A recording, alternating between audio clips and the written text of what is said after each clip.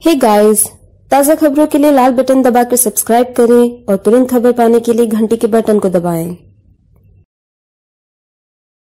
वक्त बदला, सोच बदली, लेकिन वक्त के साथ एक चीज़ नहीं बदली, वो है एक अटूट विश्वास, खूबसूरती का, एक अनमोल रिश्ता, खूबसूरती का रतनलाल सी बावना ज्वेलर्स, जहाँ विश्वास ही परंपरा है। जलगांव महापालिका अक्सर किसी न किसी विवाद में ही रहती है। कभी व्यापारियों से पंगा, कभी कर्मचारियों से पंगा, फिर लोग अक्सर करते हैं दंगा। और अब की बार परेशान हैं मनपा के कर्मचारी, जिनका वेतन, पीएफ, लोन इत्यादि पिछले 28 महीनों से मनपा से कट तो रहा है, लेकिन उनकी बैंक पदपेड़ी में जमा नहीं हो रहा है। अब अगर ये पैसा इतने दिनों तक सहकारी संस्था में नहीं पहुंचेगा तो ज़ाहिर सी बात है, बैंक के नियम के अनुसार बैंक से लोन लिया व्यक्ति डिफॉल्टर हो जाएगा। फिर समस्या होगी।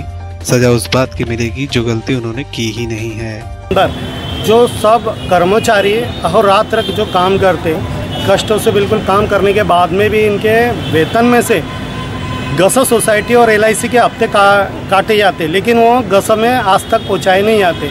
तो हमने गसा वालों से बात की, संचालक से बात की तो वहाँ कुछ बकाया निकला।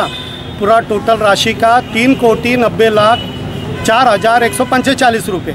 तो ये कम से कम अट्ठाईस महीनों का जो था, कटाया, मुझे पगार में से पेमेंट काटा हुआ, ये आज तक क्यों नहीं पहुँचा भाई गस के अंदर?